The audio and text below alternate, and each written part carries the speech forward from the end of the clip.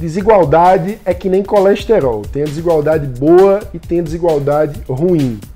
Como assim? Quer entender melhor essa ideia? Então assiste o livro de notícia de hoje, porque quem vai explicar esse tema é uma das maiores pensadoras do liberalismo na atualidade em qualquer parte do mundo, a americana Deirdre McCloskey.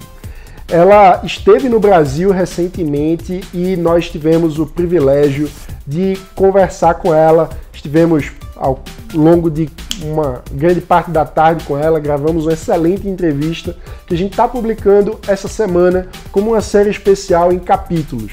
Para quem ainda não conhece, Deidre McClose, que foi professora por muitos anos na Universidade de Chicago, depois em Illinois, ganhou diversos prêmios, entre eles o Hayek Life Achievement Award do Instituto Hayek de Viena, ou seja, o Instituto Hayek original austríaco, como reconhecimento por suas contribuições ao liberalismo ao longo da sua vida. Deidre é autora de diversos livros que ganharam diversos prêmios ao redor do mundo, mas que infelizmente ainda não estão traduzidos para o português, não tem edição publicada no Brasil. Por isso mesmo, é um grande privilégio, uma grande oportunidade para a gente poder ter conversado com ela e trazer esse conteúdo em primeira mão para o público brasileiro. Então, a gente está bem feliz com isso, espero que você goste e vamos conferir agora a segunda parte dessa entrevista. Mas antes, nos ajude a fazer esse vídeo chegar a mais pessoas, compartilhe com seus amigos, deixe o seu like.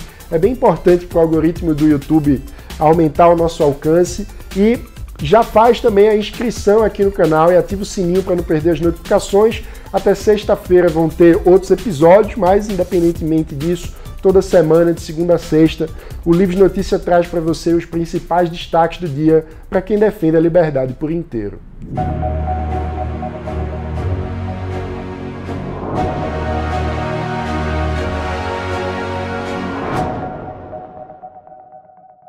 Um, I want to bring up another sort of uh, polemical topic inside the liberal world, Yeah. which is the theme of inequality. Yeah, You you have claimed that there is good and bad inequality. there is. Would you care to, to explain us the difference yes, between of both? course. The, the, the bad inequality is stealing from people or getting the state to steal from some other one person.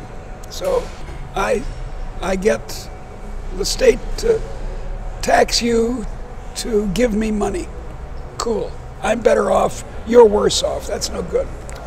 But some people become rich and they be, so there's a certain amount of inequality because they're very good at football or very good at singing or very good at grocery stores or very good at whatever they're good at and then all those deals are voluntary if i want to you know we all everyone in the world knows about pele he's the only soccer player anyone knows about is pele and Pele was very good at what he did.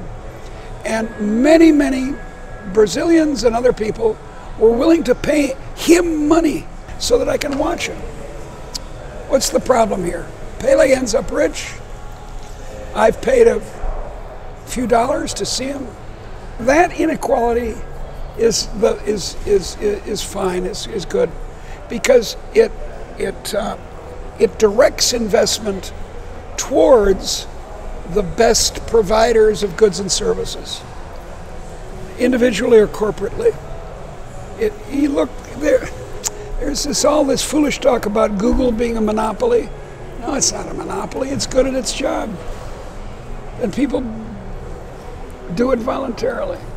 And people be, forget that at the beginning there were a lot of comp- competition to Google. and They have sort Absolutely. of outlived them all. Absolutely, and and they look. It's like biological evolution. The economy is not like a machine. Our friend, my, my many friends who are socialist, I was a socialist once, believe that the economy is a, a machine, and you press this lever and boom, out comes that. And our many of our conservative friends believe that too. Wrong. The economy is like biological evolution. Look, the average life of a, of a startup in the United States is five years. In five years, it's gone. Most of them. And but just as in biology, most of the uh, um, uh, variations are wrong, are not good for the children and the grandchildren, the great grandchildren of, of the organism, whether it's a tree or a person. But if you don't have trees and people and monkeys and fishes trying out stuff, you don't get evolution. You, you, you don't get uh, improvement. Uh, um, and that's true in the economy too. So it's crucial that we not stop evolution. And that means leaving people alone. I have a book, um, this is my last book, but I'm going to, next fall, uh, a book comes out with a co author called, here's the title Leave Me Alone and I'll Make You Rich. And that's, that's the basic idea. Leave me alone, I'll compete with other people, and the result will be evolution in the economy and we'll, we'll get better off. And the key point is that the poorest people are the beneficiaries of this. It's not true that the rich get richer and the poor get poorer. It's fun to say that and to claim it, but it's not true. If the rich person is rich because she did something very clever, really good kind of food or wonderful housing or something, that makes everyone better off. Um, I want to jump onto the next theme, which is more political. Um, when we talk about liberty, there's always the connection, the immediate connection between liberty and democracy. Yes, there is. Um, my point is: is democracy uh, enough? Are our countries free, and then they will become prosperous if they're democracies by them all alone, or are there most factors that are needed so that countries become more prosperous and more wealthy?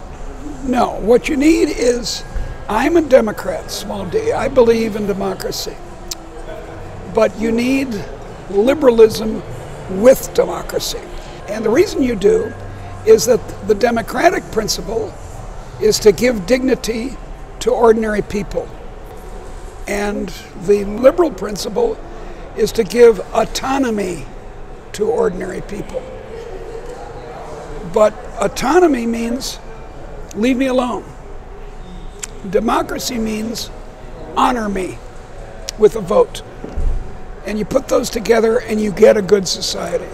It's a society, and it's very new. It's a, as I said before, it's a very new idea. This only came to European minds in the, in the 1700s, and now it's spread to the world. Um, and it's a crazy idea from the point of view of a traditional agricultural society. What? You mean the lord of the manor is equal to the to the uh, the the milkmaid? Oh, how absurd! That's how our our conservative friends talk. Oh no, hierarchy's good. There are top people and there are bottom people, and let's leave it that way. And and and democracy says no. See, it's not because democracy makes good decisions that I'm in favor of it. Uh, if democracy is taken over by populists, as it has been in my country and yours, um, then they're going to make bad decisions. That's the old expression for this is the tyranny of the majority. Um, and that can be just terrible. But, but what's good about democracy is that if a person has a vote, she feels that she is honored and dignified. Or to express it more sharply, if she doesn't have a vote, if no, we're not going to give votes to women. Women can't. They're no good. They can't. Their their their husband will take care of them. They, we don't need women to have a vote. They're inferior. See what I mean?